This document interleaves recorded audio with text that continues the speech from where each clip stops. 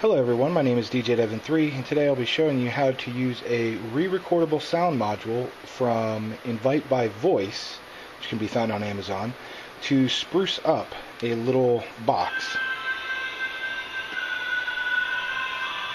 And it just plays a little MP3 behind here. Uh, this foam came with the box, and as you can see here's the switch and it just plays that. That way it's like a little angel opening when you open the box of your nice router bits. Uh, and this is going to be a present for my sister. So behind the curtain, that's all it is. Now this is what it looks like when you get it in the mail. Uh, it's got this plastic backing and what you're supposed to do is take this part and it comes off and you're supposed to put it in a greeting card.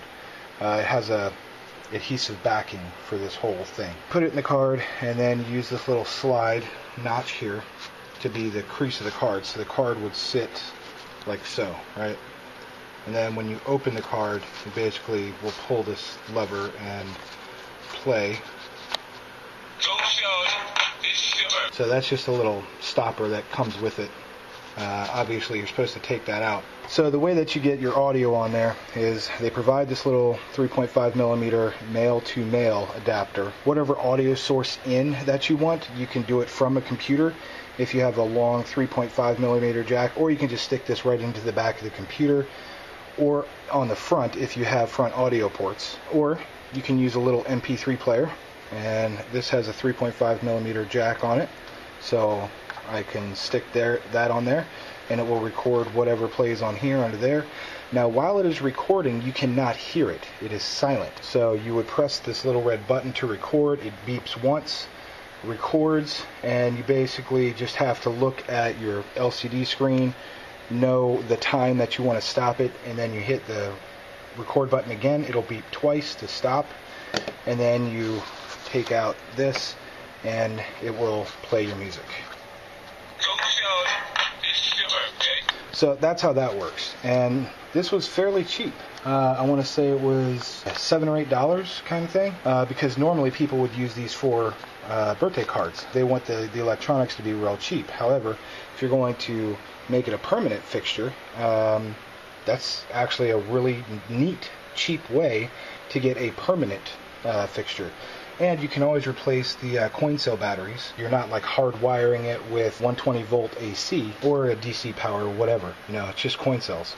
So you can replace those basically the same as you replace your watch battery. Uh, so I bought a couple of them just because I really like the concept, and uh, the company shipped them out fast. You can find them on Amazon. Uh, you can also buy them directly from their website. Uh, I thought that was really cool. Uh, and yes, you can go audio out from your iPhone or Android phone or whatever. Uh, it will accept it as long as there's a 3.5 millimeter jack, which the new iPhones apparently don't have. So, yeah, you're screwed there. You would have to get a converter from whatever proprietary jack to a 3.5 millimeter. Good luck with that. Uh, so this box came with foam. So I'll show you my handiwork here. So that's my soldering job. I just bent the, the prong back and I did that just as a temporary measure just in case something didn't work out and I needed the prong back. Uh, but now I could go in and cut that off if I really wanted to. Uh, but it's not in the way, so whatever. I'm just going to leave it. I hot glued the crap out of everything to keep that in place. And as you can see, these micro switches, they overhang just a little bit, which is great because when it closes, it's going to close flush right on that corner. If this switch was flush with this black switch housing, then this would not work. This only works because this overhangs just a little bit farther than the, than the switch housing. So we're down here, you can see, and I need that in order to contact here. So that works out pretty well. And of course I just hot glued the speaker into place. And I liked this little uh, white surround that comes with it as a, uh, a, vibration dampener. Basically, I didn't want it to vibrate this. It's uh, it's just a vibration dampener, and the hot glue works for that pretty well too. So we'll just uh, put the foam back in there. fairly clean install. Now, if I really wanted to make this look a little bit better, I could, uh, you know, cut a, another sheet of balsa wood or something out and frame it that way if I really wanted to. But just as a cheap, quick DIY birthday present idea, uh, I thought that was pretty neat. So I hope you like the uh, the little mod I have here. And I hope that you can use your imagination to come up with some neat little ideas to take this kind of cheap, inexpensive electronics and make a project for yourself. Uh, I just hacked that up in like, you know, five minutes. Actually, I had to go to Radio Shack in order to get the Switch because uh, I didn't have any. But um, yeah, in all, 10 minutes worth of work. Boom, done. And she has forever a box that has angels singing when she opens up her router box.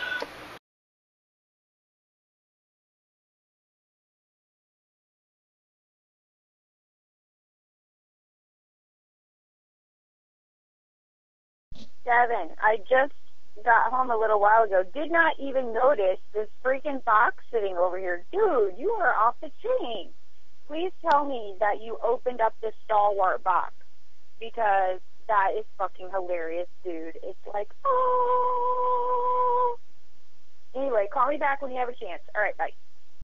And by the way, it does not drain the battery when it's close. It only operates and uses battery while it is playing.